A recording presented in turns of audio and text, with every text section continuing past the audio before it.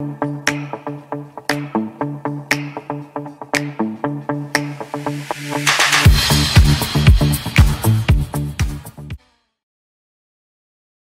日は芋の日ということで。芋々しいメンバーが集まりました。なんで芋の日なんですか？えー、鍵は本まで。あ、誰が一番最初おなら出るか勝負しなあ、がそうや。さつまいも食べたらおならがよく出るっていう説は本当なのか、今日は検証してみたいと思います。じゃあなんでなんやろな。食物繊維が消化されて分かれてる。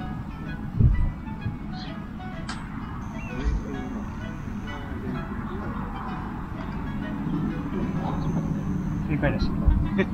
理系やな。大阪都構想。大阪府民ですよ。うーん。え、あれって大阪市民やろ？あ、府民。大阪市を分けるんか。こんな話ええねん。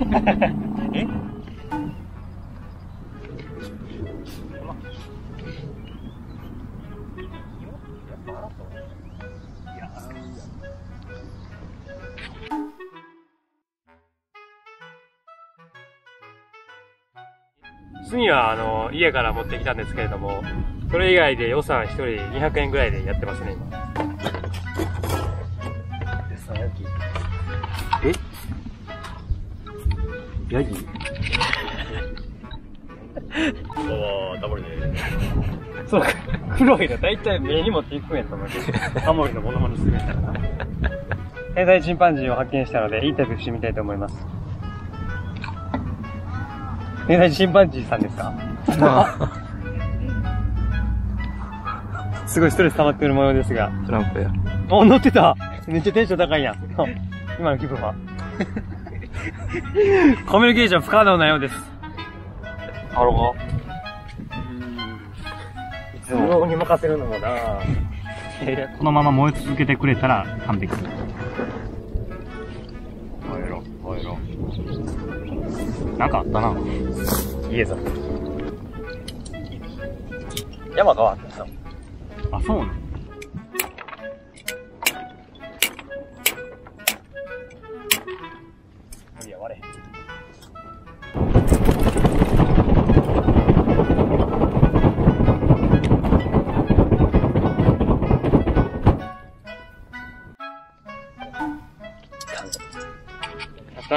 最後のお茶漬け。最後のお漬物。安納芋と紅牛羹みたいなのを洗ってきまして、ネットで調べると、洗った後に新聞紙で包みまして、包んだ後に新聞紙を濡らして、その上からアルミホイルをやると。新聞紙は京都新聞の方がいいですか？それはね、ご自由に。そうですか。それは思想によって違いますからね。あんまり深くは研究しません。思想なの思想でしょ。やっぱり朝日新聞と読売新聞で巻いた方がバランスよく焼けるんでしょう確かに左と右のね、バランスはいいと思いますね。かああ、やっぱり毎日新聞と産経新聞の方がいいですか？どっちも左と右でバランス取れてますけどさ。大爆笑だ、ここ。おばあちゃん大爆笑。こんな感じです。上が寒そうなので、炭を投下。仕事をする人と仕事をしない人がくっきりわかりますね。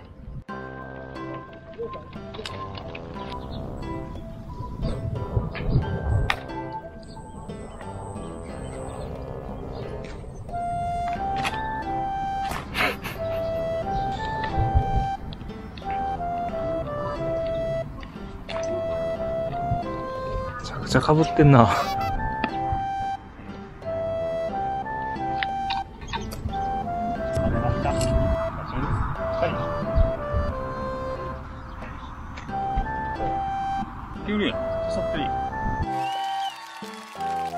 出来上がりました。完食としましては、大変素晴らしい出来上がりとなっている感じがします。あ、これは柔らかすぎるかもしれん。あれスイートポテトみたいな。スーパーで100円のさつまいもですからね。皮もパリパリで美味しいよ。なんか腐ったポテトチップスみたいで。なんか焚き火に顔突っ込んだみたいな美味しいよ。大やけどや。やばい。出た優勝です。そういや、そういうゲームしてたな。ちょっと待って。うんこ出すね。認められません。はおい音が鳴ってません。中途の船やん、ここもマジで。アウェーやわ。やっぱ安納芋か。黄色いねんな。うんそ。れ安納芋でこれ何やったっユーみかんみたいなやつ。けゆかん、ユーちゃう。真ん中紅優香紅優どうですか？ああ焦げてるね。めちゃめちゃうまい。まあでもやっぱり色濃い方が味濃いんかね。今、あの、おなら選手権、あの、取れてなかったんですけれども、1位独走状態、2位この方ですね。特大打ちました。あ、でも、来そうやな。前はやめてな。なんで？マジでキモいし。あ、おなら来るわ、ごめん。ごめんな。話に浮上するわ。い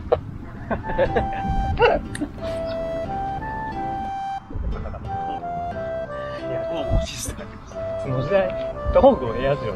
バルティック艦隊だよ。バルチック艦隊のバル興味ねえよ。バルチック艦隊というのは、バルト海に常にいた戦艦なんですね。だから、ロシアはヨーロッパの方面とアジアの方面に戦艦がいたわけ。